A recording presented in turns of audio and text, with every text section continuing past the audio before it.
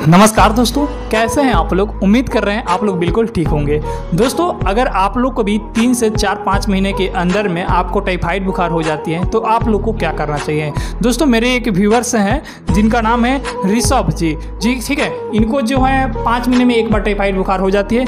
इसलिए दोस्तों, सोचे कि इनके माध्यम से आप लोग को भी बता दें, क्योंकि आप मेरे भी यूट्यूब फैमिली मेंबर है, ठीक है? दोस्तों, जब भी किसी इंसान को टाइफाइड बुखार होती है ना तो उनके दिमाग में सिर्फ़ एक चीज़ बैठता है, क्योंकि इंजेक्शन लेना, ठीक है? टाइफाइड गया है, इसका मतलब चौदह को इंजेक्शन पड़ेगा। ऐसा कोई बात नहीं दोस्तों, आप लोग दवा से ठीक कर सकते हैं। घर पर कर सकते हैं, ये भी हम आपको पूरा क्लियर बता देंगे, साथ में कुछ मेडिसिन बता देंगे, ताकि आप लोग आसानी से घर पर ठीक कर सकते हैं, ठीक है? लेकिन सोचने वाला यह बात है कि टाइफाइड बार बार क्यों हो जाती है?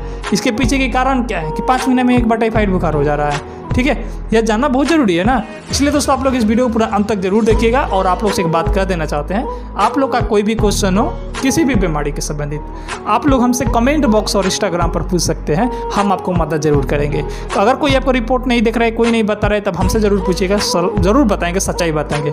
इंस्टाग्राम पर भेजिएगा, ठीक है? कभी लेट हो रहा है तो उसे नहीं घबराना है कमेंट बॉक्स में आप लोग बताते रहिएगा, क्योंकि हम देखेंगे, ध्यान पड़ जाएगा फिर आपको रिप्लाई हम ज़रूर देंगे। ज़रूरत पड़ जाएगा तो वीडियो बनाकर हम आपको रिप्लाई देंगे, ठीक है? साथ में अगर ज़रूरत ये भी पड़ जाए तो आपको कॉल से बात करके हम आपको सलाह करेंगे, ठीक है? इसलिए आप लोगों को बिल्कुल टेंशन नहीं लेना है, क्योंकि आप मेरे यूट्यूब फैमिली मेंबर है, सच्चाई बताना बहुत ज़रूरी होता है।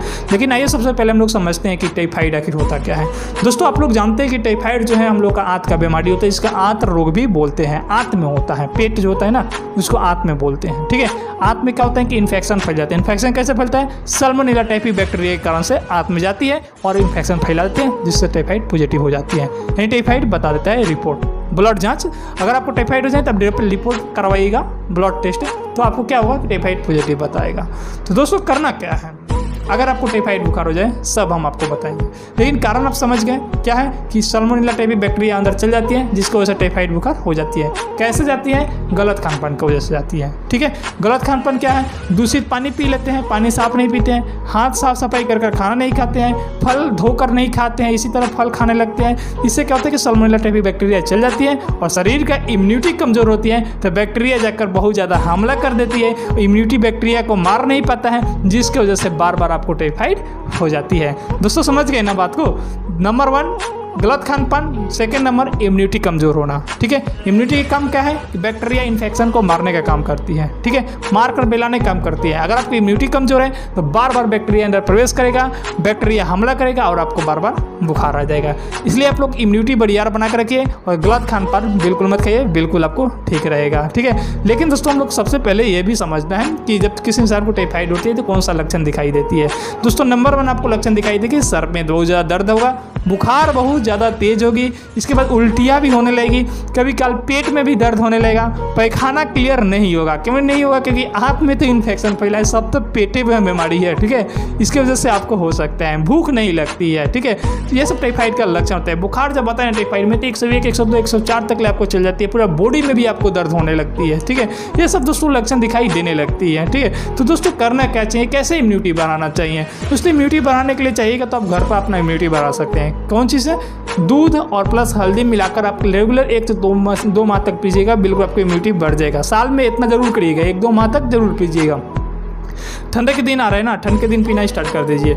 बिल्कुल आपको ठीक रहेगा। साथ में दोस्तों, मसाला वाला चीज़ बिल्कुल मत खाइएगा, हरा मिर्चा वाला चीज़ खाइएगा। हरा मिर्चा जो होता है, वो उसमें सब्ज़ी बनाकर आप लोग को खा सकते हैं। सूखल मिर्चा से आप लोग बिल्कुल मत खाइएगा। मार्केट वाला जो भी चीज़ है, आप लोग वो सब मत खाइएगा। पानी जो है, साफ़ सुथरा पानी पीजिएगा और क्या करिएगा कि प्रतिदिन एक गिलास उसमें पानी और जवाइन लेकर आप खाकर प्रतिदिन पीना है। ये क्या करेगा कि पेट में जाएगा, सब बैक्टीरिया इन्फेक्शन को मार देगा और पेट को भी ठीक रखेगा, ठीक है? तो आप गैस भी नहीं बनाएगा। बहुत अच्छा काम करेगा, आप लोग इतना ज़रूर करिएगा। और साथ में दोस्तों, हम आपको बता देते हैं, एक गिलो एक नाम का टैबलेट आती है। आप लोग भी सुने होंगे और खाए भी होंगे। आपको मार्केट में मिल जाएगा, किसी भी कंपनी के आप लोग लेकर खा सकते हैं, ठीक है? जैसे हम पतंजलि के बता देते हैं, आता है, पतंजलि में भी गिलो आते हैं, किसी भी मेडिकल दुकान में जाइए गिलो का टैबलेट लाइए, पतंजलि में मिल जाएगा आपको। दो गोली सुबह, दो गोली शाम को आपको खाना है। इससे क्या होगा कि आपकी इम्यूनिटी बढ़िया रहेगा। आप दो महीना, तीन महीना, चार महीना, पाँच महीना भी आप खा सकते हैं, कोई दिक्कत नहीं है। इतना खाकर आप रोक दीजिएगा, आपको इम्यूनिटी बूस्ट हो जाएगा। ये सब बूस्ट हो जाएगा तो आपको बार बार टाइफाइड बुखार नहीं आएगा, ठीक है? इसके बाद तो दोस्तों, आपको बता देते हैं, कुछ मेडिसिन आपको बता देंगे। उस मेडिसिन को आप लोग उपयोग कर आप लोग आसानी से टाइफाइड को ठीक कर सकते हैं। जहाँ तक ले बात है कोई इंजेक्शन लेना नहीं पड़ेगा ये कंफर्म है, ठीक है? दोस्तों कौन सा मेडिसिन है? आपको बता देते हैं। पहल का ना बात की देखिए दोस्तों, आपको इन्फेक्शन हो जाती है, पेट में बैक्टीरिया हो जाती है, उसको मारने के लिए एंटीबायोटिक चाहिए, ठीक है? जिसका नाम है महासेप प्लस जी हाँ वो एक एंटीबायोटिक है, बहुत बढ़िया काम करती है, क्योंकि आंत में इन्फेक्शन मारने का काम करता है। देखिए दोस्तों महासेप प्लस में आपको कॉम्पोजिशन डाला रहेगा सेफेक्सिम ऑफ्लॉक्सासिन डबल एंटीबायोटिक इसमें डाला रहता है। आप लोग देख रहे होंगे स्क्रीन पे, ठीक है? इसमें क्या है कि सेफेक्सिम ऑफ्लॉक्सासिन दो दो सौ एम डाला रहता है। एडल्ट व्यक्ति के लिए एक सुबह और एक शाम को आप लोग खा सकते हैं। और इसके साथ दोस्तों, आपको बुखार उतारने के लिए पैरासीटामोल की बहुत ज़्यादा ज़रूरत पड़ती है, जिसका नाम है डोलो साढ़े छः सौ एम बहुत बढ़िया है, आपको कहीं भी किसी भी मेडिकल दुकान में आपको मिल जाएगा। एक सुबह और एक शाम को खा सकते हैं। अगर ज़रूरत पड़ जाए तो आप दोपहर में भी खा सकते हैं। यानी कि आप तीन टाइम भी आप डोलो छः सौ पचास एम को आप लोग खा सकते हैं। अगर आप एडल्ट व्यक्ति हैं तो यानी तेरह साल से आप ऊपर हैं आपका वज़न पैंतालीस किलो से ऊपर है तो आप लोग यह मेडिसिन खा सकते हैं, ठीक है? इसके बाद दोस्तों, आप एक गोली, सुबह एक गोली, शाम को गैस के दवा भी खा सकते हैं, जिसका नाम है A C lock R D ये भी बहुत बढ़िया काम करती है, क्योंकि